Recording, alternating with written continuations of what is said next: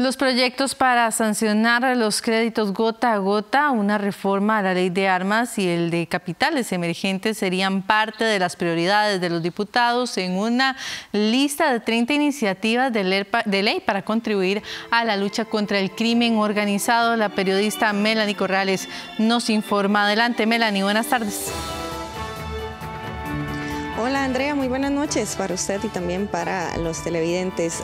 Hay 30 proyectos de ley acá en la corriente legislativa que tienen relación con todo lo que es el tema de seguridad y que contribuirían entonces para hacerle frente a el crimen organizado y toda esta ola de violencia que está acechando nuestro país, principalmente en este 2023. Hoy justamente eh, hubo una reunión importante acá en el Congreso con el Poder Judicial donde se establecieron prioridades con respecto a esos proyectos de ley y se estaría dando paso a cinco iniciativas que, como usted lo indicaba, entre esos destacan el proyecto para sancionar los créditos gota a gota, también el de capitales emergentes y también el proyecto de ejecución de la pena, una propuesta planteada por el Poder Judicial. Precisamente ahora lo que sigue es que la Comisión de Seguridad y Narcotráfico estudie todas estas iniciativas de ley y se dé paso a su trámite tanto en la comisión como en el plenario legislativo.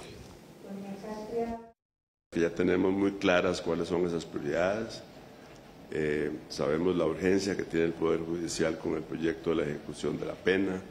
Eh, sabemos que dentro de los proyectos que han presentado las fracciones hay muchos que se pueden, que ya están a punto de entrar a la, a la corriente legislativa. Entonces lo que vamos a hacer es que la Comisión de Seguridad y Narcotráfico, presidida por doña Gloria, va a ser una especie de una integración de todos estos proyectos para ir viendo cuáles son los que siguen, cuáles son los que vienen. Eh, yo voy a meter en agenda de jefaturas de fracción de todos los jueves el tema para que revisemos cada jueves eh, a cuáles proyectos ya hay que darles las, quitarles todos los trámites para poderlos ver rápidamente en el plenario. En fin, que el compromiso que estamos adquiriendo hoy se comience a ver en que cada semana podamos ir sacando uno o dos proyectos importantes para que podamos salir avantes en esta pelea. El Poder Judicial señaló un par de proyectos que les interesan a ellos, el que tiene que ver con eh, cambios al, tema de la ejecución de la pena para quitarle un poco de discrecionalidad a los funcionarios que, determinan esos cambios. Em, eh, uno que tiene que ver con capitales emergentes que tenemos que revisar con, detenimiento. Em, me parece que hubo consenso alrededor de eh, la reforma a la ley de armas para endurecer las penas por la utilización o portación de armas ilegales. Em, y eh, el de créditos gota a gota, que también está generando mucha, mucho problema social. Tienen alguna similitud, ¿verdad? Tienen alguna similitud. Lo que pasa es que el de extinción de dominio eh, se le confiscan eh, eh, incluso por sospecha, pero ya eh, pasan a ser propiedad del, Estado, digamos.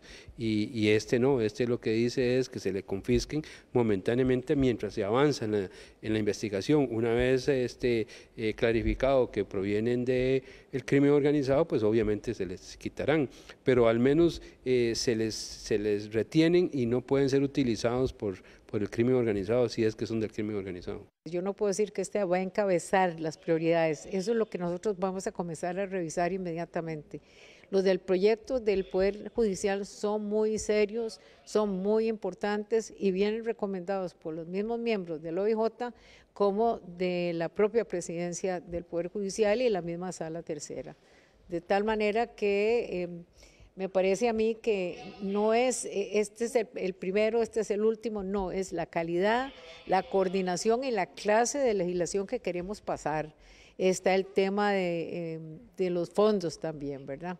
Entonces, me parece a mí que, es bueno que, la, que el país conozca exactamente qué es lo que está pasando en Costa Rica y de qué manera está reaccionando el Poder Legislativo.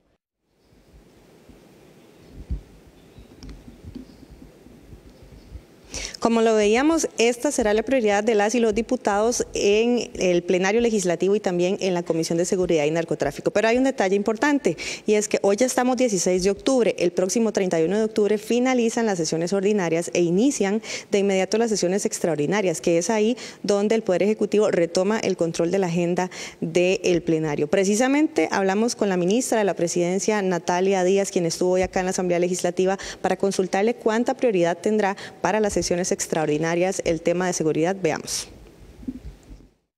Una absoluta prioridad a estos proyectos, sin lugar a duda. Estamos a la espera también de esa revisión de los textos finales de los expedientes. Sé que han hablado de temas relacionados con crimen organizado, con proyectos de ejecución de la pena propiamente, préstamos gota a gota, así que hay que revisar todas esas iniciativas muy puntualmente para identificar, perdón, cuáles son las que se van a conocer directamente. Decían también que algunas pudieran inclusive dispensarse de trámite. Obviamente nosotros tenemos prioridad en los proyectos, entendemos que hay otras fracciones que también quieren impulsar esas iniciativas. Ojalá logremos un acuerdo de la gran mayoría de los proyectos para eventualmente dispensarlos de todo trámite. La Comisión de Seguridad va a hacer audiencias respectivas sobre esos expedientes y estamos a la espera de que ojalá podamos avanzar con estos proyectos.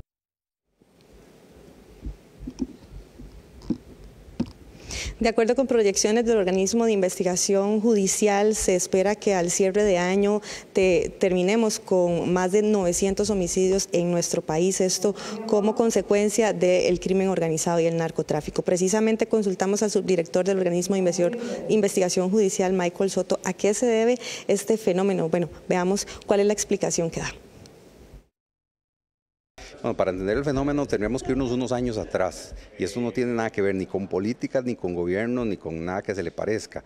Eh, por la posición geográfica de Costa Rica, este, estamos en medio de los consumidores, eh, los productores y los consumidores, y de allí que es un fenómeno el cual nos golpea duramente y directamente.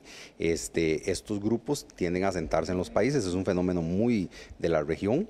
Eh, si usted analiza lo que está ocurriendo en Brasil, en Ecuador, que era un país con unos indicadores muy buenos, es exactamente lo que nos está ocurriendo a nosotros. Entonces, este, este fenómeno del narcotráfico que incrementa la violencia y pugna por territorios, está causando una pandemia de homicidios en toda la región centroamericana y latinoamericana.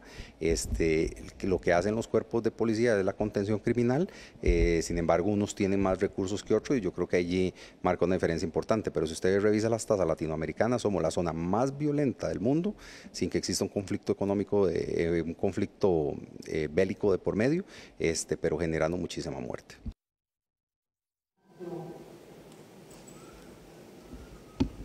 Bueno, esta es la información de lo que ocurrió hoy acá en la Asamblea Legislativa con respecto a todos los temas de seguridad. Andrea, por supuesto que vamos a estar muy pendientes de lo que ocurra. Nada más antes de regresar con usted al estudio, comentarle que hoy en una comisión se manifestó en algún momento que existía la posibilidad de que se diera la renuncia de la, de la ministra de la presidencia, Natalia Díaz. Bueno, ella estuvo hoy acá y pudimos conversar con ella, quien descartó totalmente eso y lo catalogó de un rumor. Dice que continuará desempeñándose en su cargo ministra de la Presidencia.